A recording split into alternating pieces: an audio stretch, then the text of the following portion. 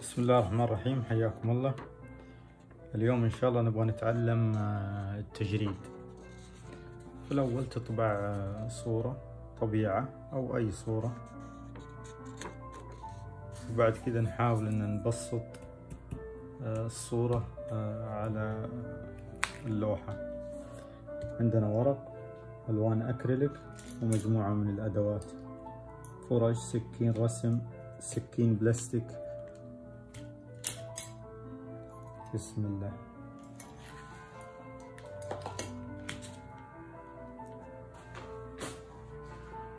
الأول نحاول يعني رسم الموضوع ببساطة جدا.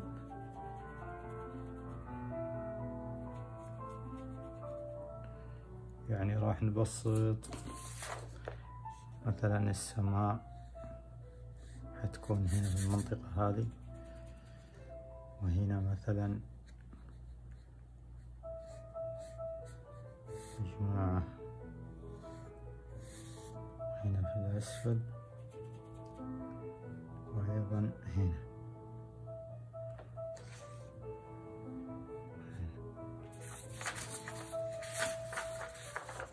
حاول إن الموضوع ما يكون فيه يكون مسطح طبعا ما فيه ظل ولا نور. لنحقق التجريد.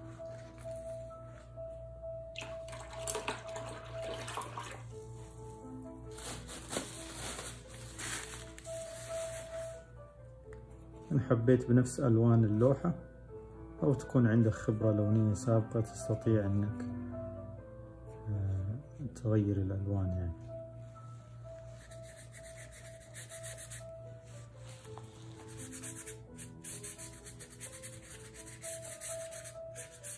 تبدأ توزع اللون ولا تنزعج إن اللون ألوان الأكريليك تنشف بسرعة لأنها ميزة ميزة هذه الألوان. لا تستخدم الماء كثير.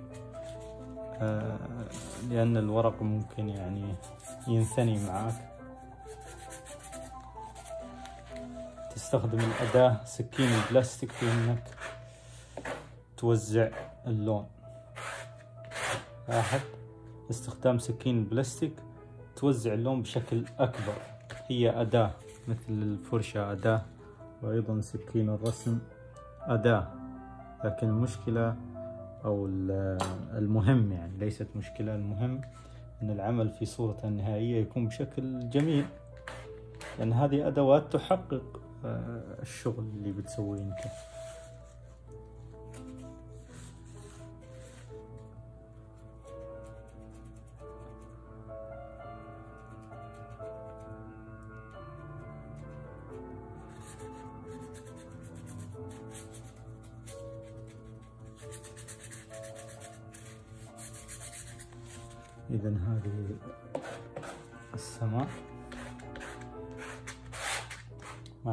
التأثيرات اللي ممكن تفيدنا في مسار العمل. الآن نرجع للجبال.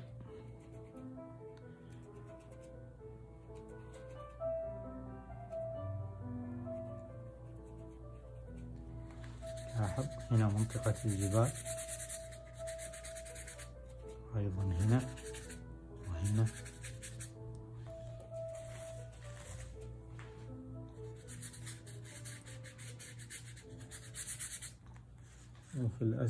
أكثر. يكون غامق. زيد الأزرق. أحمر.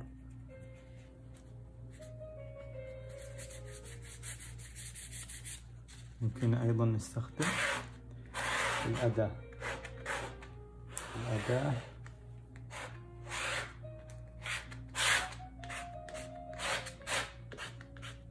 هنا شوي هنا حاول في الأول إنه ما يكون عندك ملامس في العمل آه، زايد يعني ما يكون اللون كثيف أو ملامس. حاول إنها تكون في مراحل متقدمة في العمل.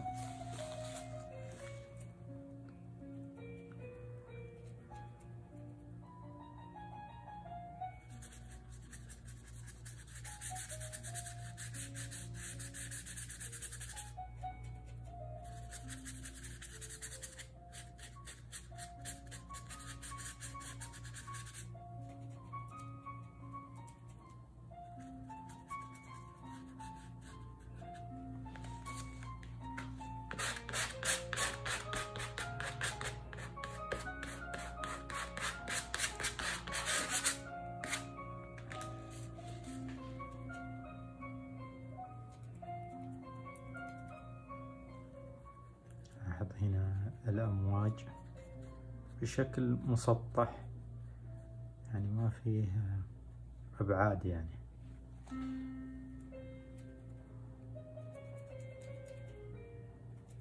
كأنك بتستخلص الجماليات اللي موجودة في الصورة.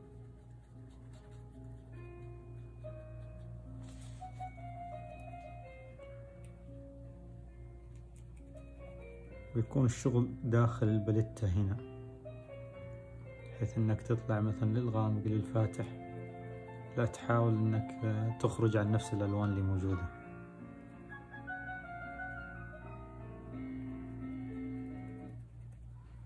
مثلا. معاك الأداة. عشان الانسجام الشكل العام يعني للعمل.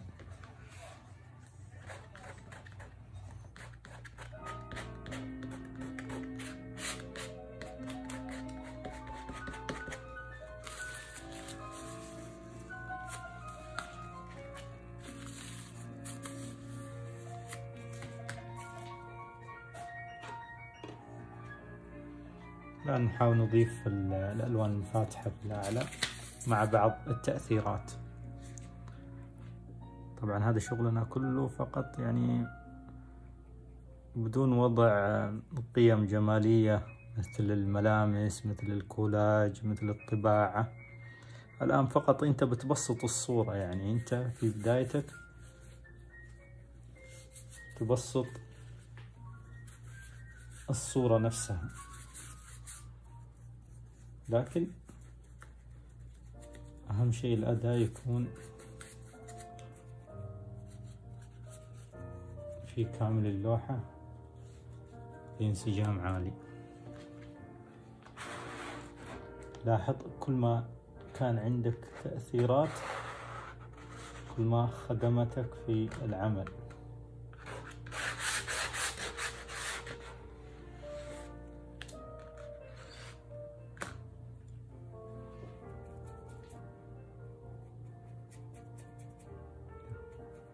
ناخذ من اللون اللي في البلتة نزيد في الأعلى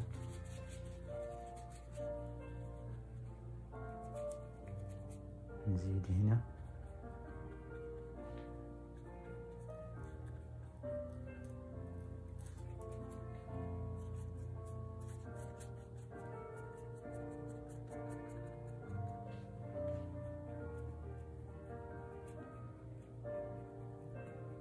الآن نشتغل على الفاتح أكثر.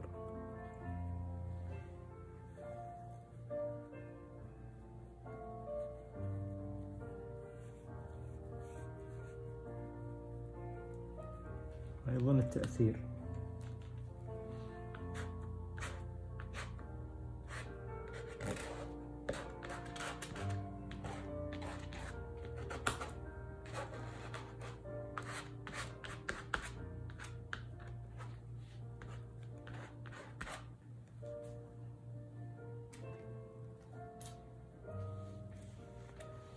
كل ما تقدم العمل كل ما بدأت تركز أكثر. لاحظ المناطق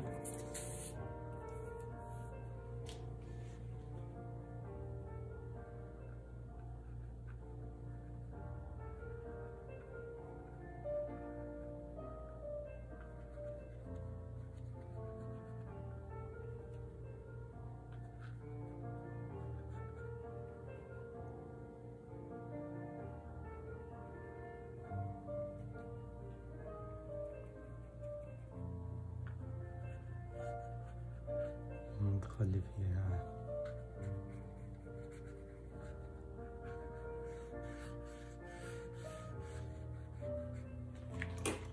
ترجع للتأثير. وقلنا التأثير بأي شيء بأي قطعة معاك. مو شرط يكون معاك سكين البلاستيك كثير يسألون عنها. ما هو شرط يعني تكون موجودة معاك. ممكن سكين الرسم.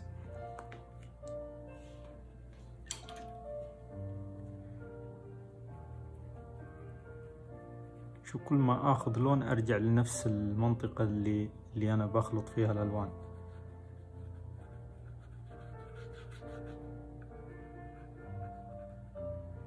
وبوزع اللون بحيث إنه ما يصبح عندي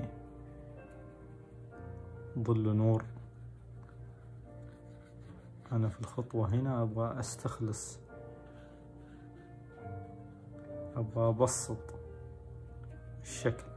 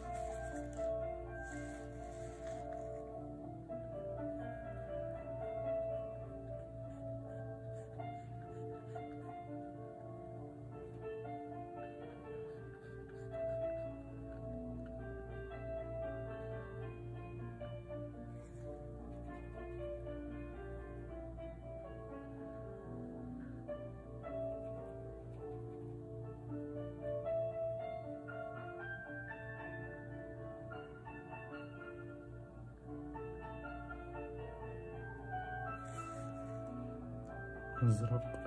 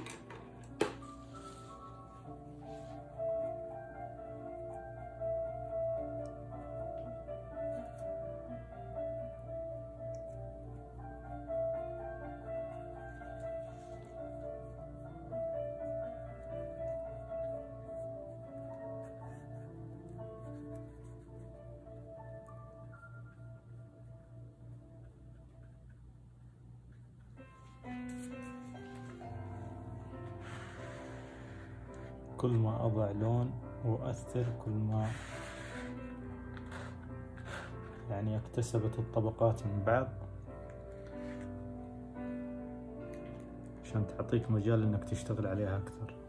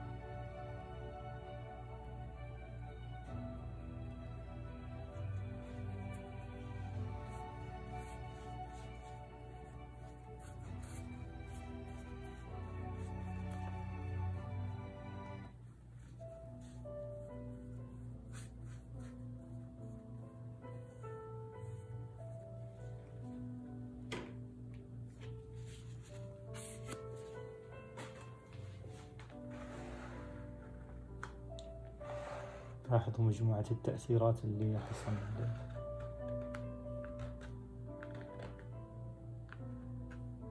ممكن إن نكمل برضو بنفس الأداة بحيث إن نحقق انسجام في العمل. نضيف في بعض المناطق. ممكن اللون اللي موجود نضيف ونسحب. يعني هذه يعني طرق متعددة أنت تكتشفها مع العمل. يعني من الشغل اللي تشتغله بشكل مستمر راح تكتشف أشياء كثير. هذا شكل مبسط جدا. أو هذا شغل مبسط يعني.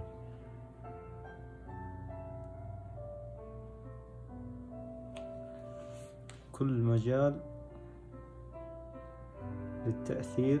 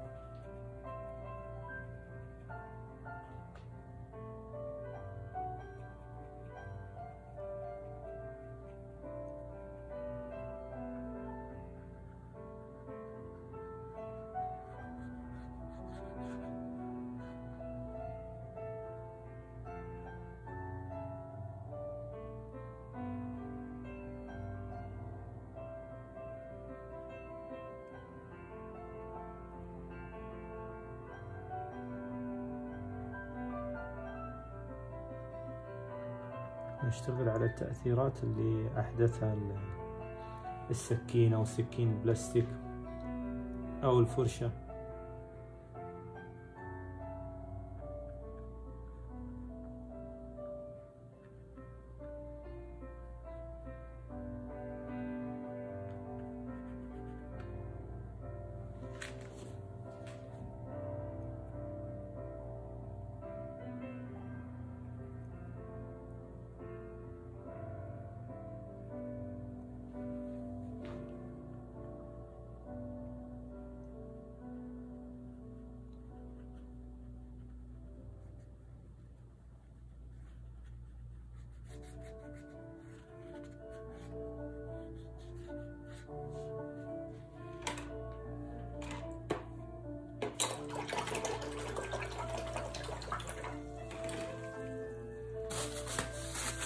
نرجع لل اللي في الأعلى. هنا.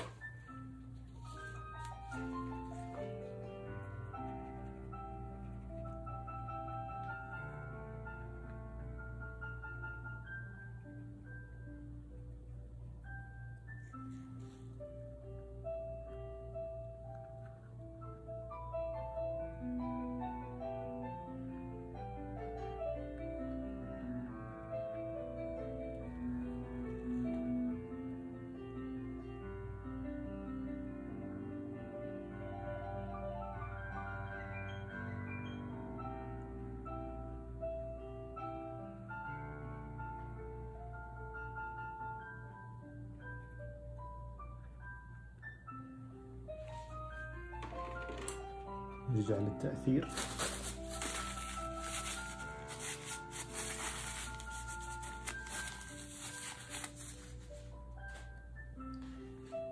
تركنا هذا بس بحيث إنه ينشف يجف شوية فقط يعني عشان نقدر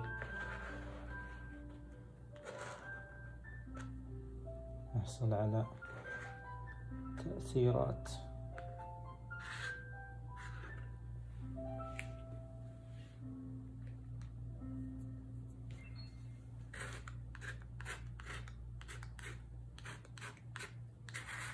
وانت تشتغل راح تلاحظ انك تضيف وتحذف وتضيف.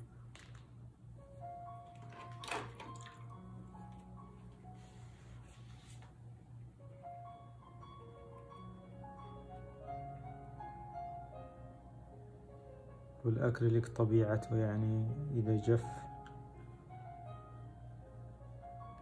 يبهت خلال مسار العمل بعض المناطق. تستنى تستنى عليها شوية تجف وترجع لها. لأن اللون راح يتغير معاك أو راح يبهت كثير.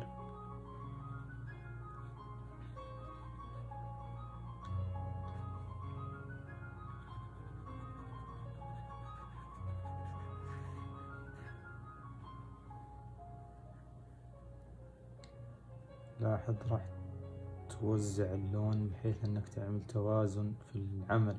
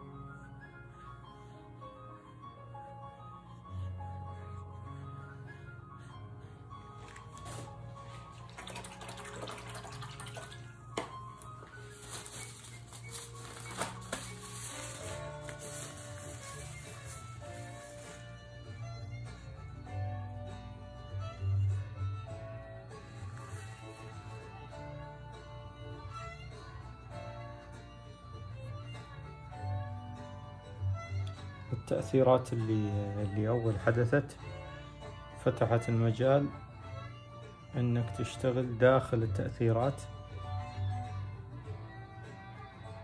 تحاول إنك تعمل توازن إنك توزع اللون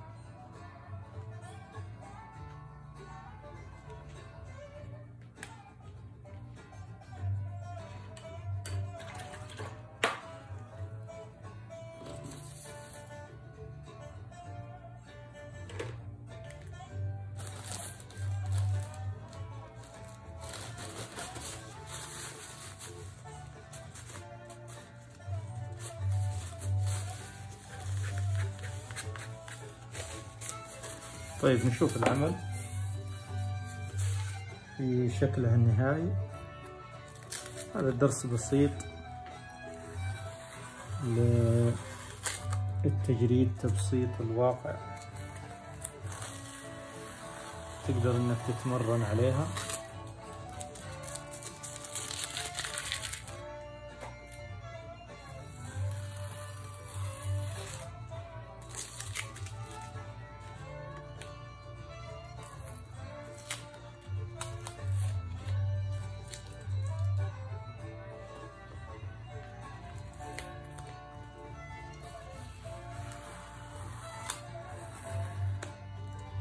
هذا العمل في شكله النهائي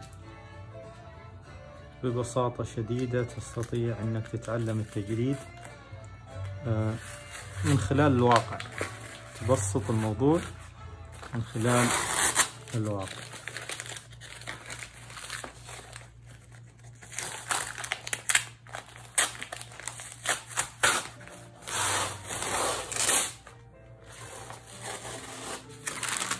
إذا هذا العمل في شكله النهائي.